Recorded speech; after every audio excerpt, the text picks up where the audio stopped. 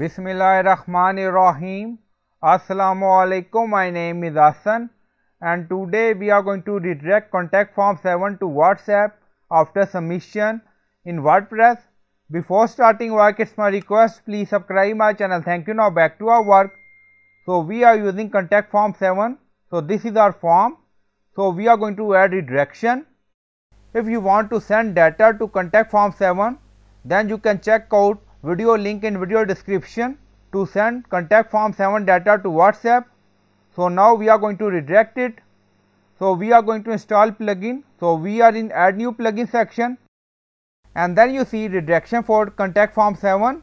So this plugin we will use. So click on install now and then click on activate it. Now plugin is activated. If you want you can click on allow and continue. If you want you can click on skip. So it's up to you. Now go to contact form 7 and refresh the page. So we will add WhatsApp customized URL link with number and customized message in contact form 7 and then you see action so click on it. And then you see submission action. Choose the action. Now select. You see multiple option. So we select redirect. And then you see add action button so click on it so we are going to add whatsapp url with number and custom message. Now new action added and then you see edit so click on it. Rule title so you can add title according to your requirement. And then you see use custom url enable this option.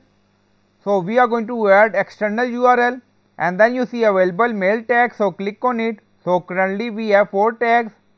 Your name email subject message and then you see open page in a new tab enable this option and then you see how many second to delay 5 second enable and then scroll up.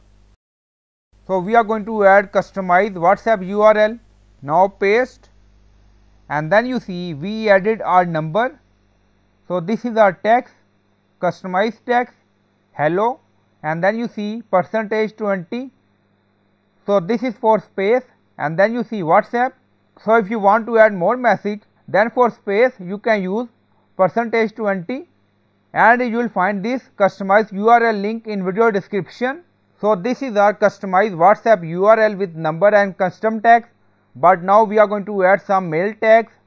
Now click on it, you see mail tags we have 4.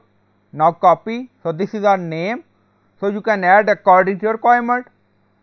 So this is our link, now add comma, then name equal, so this is our tag so this is our URL link now. So you can add more tags according to your requirement and then click on save. Now contact form saved. Go to contact form page and refresh the page. So fill the form. So I fill the form and then you see submit. So click on it. So after submission redirect to WhatsApp. So we added 5 second delay. Now you see custom message, thank you message and redirect to WhatsApp. So, this is our name and then you see button continue to chat. So, this is our custom message hello WhatsApp and then you see name is equal to Hassan.